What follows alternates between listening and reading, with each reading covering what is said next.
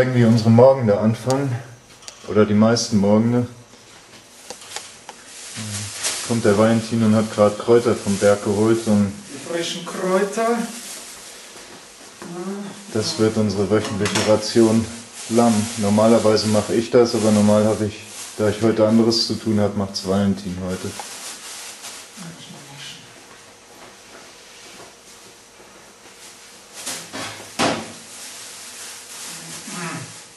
So,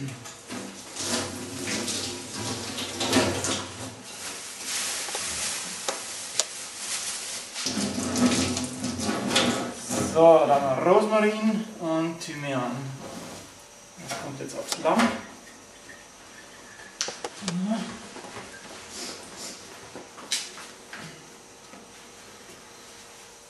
Wo haben wir denn die Pfoten?